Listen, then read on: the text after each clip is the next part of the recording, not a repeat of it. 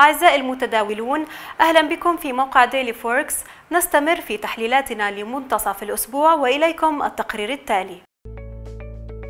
استمرت أسواق الأسهم الآسيوية في الانخفاض في حين أن أسواق الولايات المتحدة تعافت مع ظهور الدولار الأمريكي قوي والدولار النيوزيلندي ضعيف.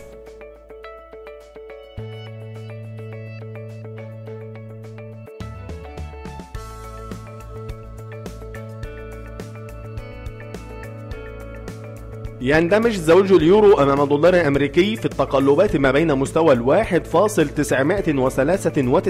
1.993 ومستوى ال 1.1039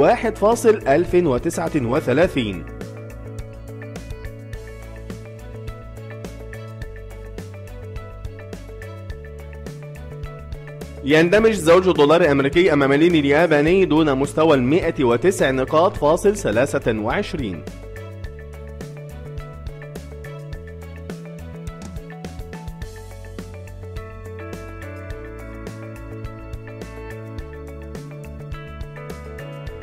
وجد زوج جنيه بريطاني أمام الدولار الأمريكي دعما أدنى مستوى الواحد فاصل ثلاثة آلاف وارتد من خط الاتجاه الصعودي طويل الأجل.